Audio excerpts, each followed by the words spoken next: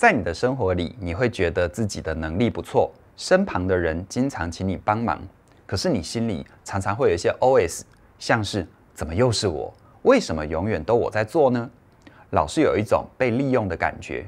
而矛盾的就是，虽然你心里很不舒服，可是，在行为上又一直配合对方，觉得自己好像应该要做，如果不做，就很害怕关系会断裂。你会不会有这样的困扰呢？我有个学员哦，他因为对于关系不满意，所以进教室学习。他主要的困扰是跟伴侣的相处不太舒服，他想要来学沟通。然而在陪伴他的过程当中，我就发现他对于不公平这件事情似乎特别的敏感。等我更深入的了解，我才知道，原来关于不公平这件事情更早的源头，是因为他从小写字很漂亮，所以全家有需要写字的地方，像是春联啊、写信啊。全部都找他做，他的弟弟妹妹却可以一直玩玩具，这让他觉得很生气，很不公平嘛。再加上爸妈工作很忙，而他的能力又很好，所以呢，他要负责照顾弟弟妹妹的生活跟功课。而让人心疼的就是，他做了这么多事情，爸妈并没有关注他，反而是更关注身体不好、功课也不好的弟弟妹妹。如果他觉得自己被忽略，主动跟爸妈讨爱，想要撒娇讨拍。他的爸妈还会拒绝他，会跟他说：“长大了就要越来越懂事，才能够成为弟妹的榜样啊！”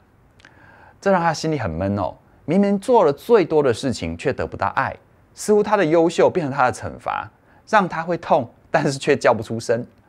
他也会渐渐的怀疑自己，觉得自己有能力，这是不是一种诅咒啊？可是生存的压力没有给他太多思考的空间。他只能一直做，才能够继续当那个被父母亲需要的好孩子。而他在这样的环境下长大，就养成了一直做事的习惯。如果不做，就会让他觉得恐慌，觉得自己快要不被需要了，会失去关系的。他只有继续做事，才会让他有安全感。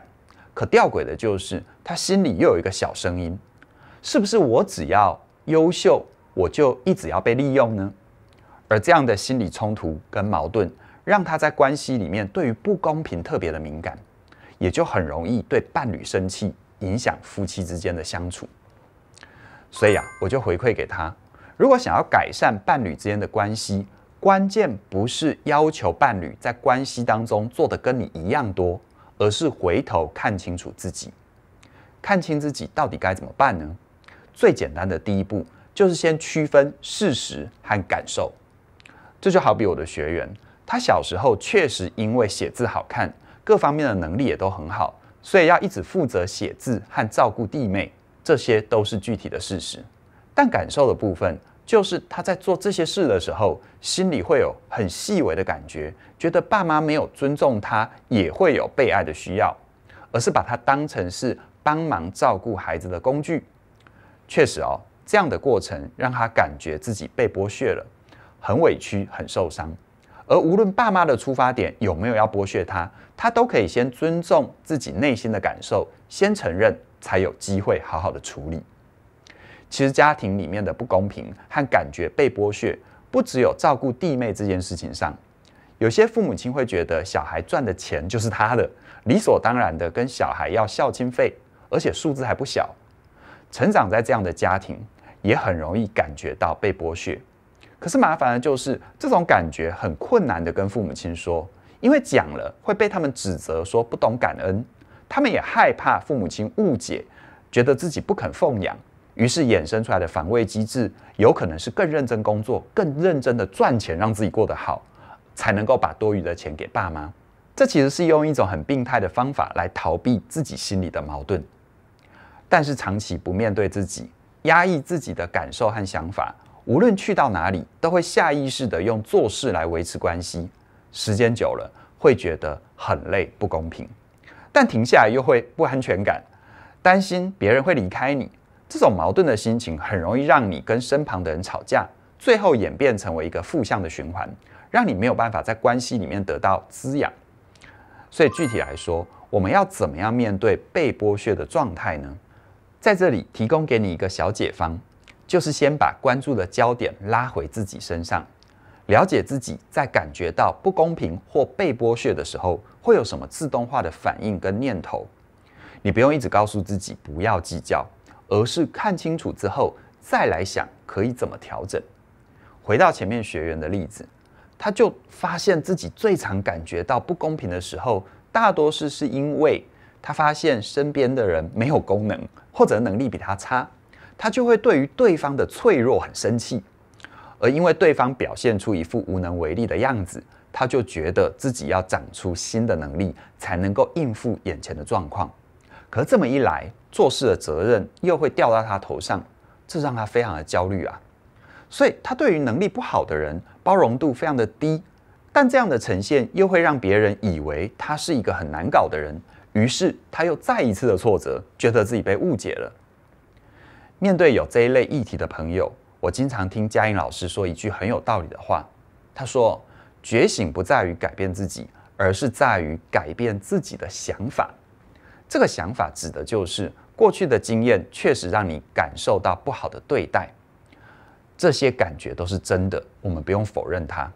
可是也别忘了，你眼前的人并不是你爸妈，他们不一定会用你爸妈的行为来对待你，而且也没有人规定别人能力差你就一定要承担所有的责任啊。如果你真的不舒服，你可以把感受说出来，别人才会知道你真实的想法，调整对待你的方式。否则啊，你闷着不说，又一直做事，别人会认为是你喜欢做啊。所以呢，就放手让你去发挥喽。他以为这是爱你的表现，而殊不知这却成为你压力的来源。所以，当你感觉到被剥削不公平的时候，你可以先尊重自己的感觉，适时的停下脚步，先看着就好。不用急着反应，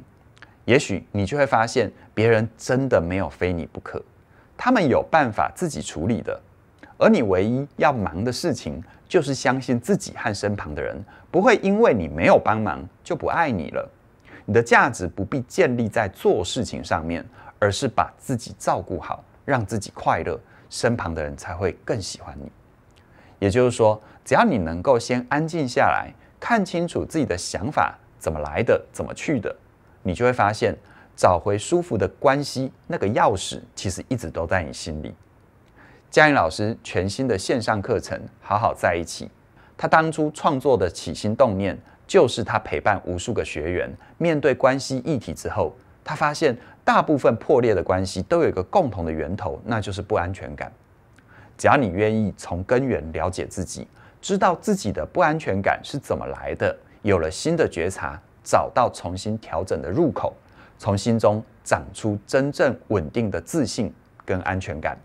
你就容易拥有一段好关系，帮助自己走向更幸福的未来。